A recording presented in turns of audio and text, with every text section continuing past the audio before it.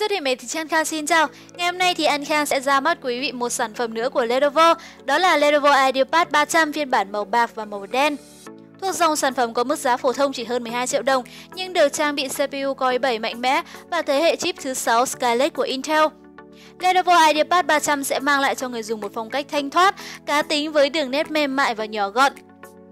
Toàn bộ vỏ ngoài của sản phẩm được làm từ nhựa mịn và lớp sơn mỏng, có khả năng hạn chế vân tay và chống bám bụi rất là tốt.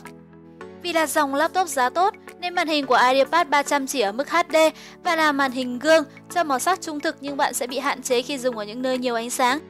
Phần bàn phím của Lenovo từ lâu đã nổi tiếng với những người dùng laptop. Các phím có dạng hình chữ U khiến tỷ lệ nhấn chính xác hơn, lực phím vừa phải để bạn không mỏi tay khi sử dụng thường xuyên.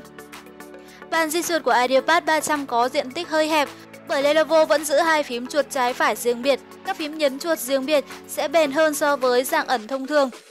Lenovo IdeaPad 300 cũng được trang bị đầy đủ các cổng kết nối thông dụng dành cho máy tính sách tay. Bạn có thể dễ dàng kết nối với máy chiếu khi thuyết trình thông qua cổng VGA. Kết nối Internet thông qua cổng LAN với tốc độ Giga hoặc Wi-Fi chuẩn AC. Ngoài ra bạn còn có cổng xuất hình ảnh ra TV với HDMI chất lượng cao. Sau cùng là cổng kết nối USB 3.0 và khe cắm thẻ nhớ máy ảnh SD. Tuy máy mỏng nhưng chúng ta vẫn giữ được ổ đĩa quang. Và ở cạnh phải thì chúng ta có thêm hai cổng USB nữa. Cùng với đó là một jack cắm tai nghe tích hợp microphone tiêu chuẩn. Điều đặc biệt ở sản phẩm này đó chính là cấu hình rất mạnh của chip Core i7 sẽ giúp bạn làm được nhiều việc hơn. Chính vì vậy, hãng đã không quên làm mát cho sản phẩm của mình bằng những khe thoát gió có diện tích tối đa ở phía đáy máy. IdeaPad 300 vẫn được trang bị hai loa Dolby bố trí ở phía rìa trước như các dòng laptop trước đây của hãng. Pin dạng liền dung tích 4 cell cho khả năng đáp ứng lên tới 5 giờ hoạt động liên tục. Ngoài cấu hình xử lý Core 7 mạnh mẽ thì bộ nhớ trong RAM chỉ ở mức tiêu chuẩn là 4GB, ổ cứng HDD 500GB.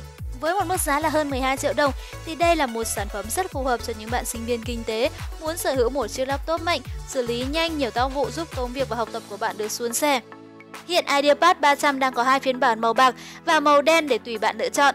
Phiên bản mà bạn đang xem trên màn hình có gam màu bạc lịch lãm, toát lên sự sang trọng cho người sử dụng. Như vậy nếu như bạn là một sinh viên khối kinh tế, ngoại ngữ hay là khối hành chính công sở có khối lượng công việc ở mức cao thì Lenovo IdeaPad 300 là một sự lựa chọn phù hợp với túi tiền của đa số. Hơn nữa, sản phẩm có thiết kế ưa nhìn, nhỏ gọn, dễ dàng xách đi mọi nơi. Series máy tính ăn Khang cảm ơn bạn đã theo dõi. Xin chào và hẹn gặp lại!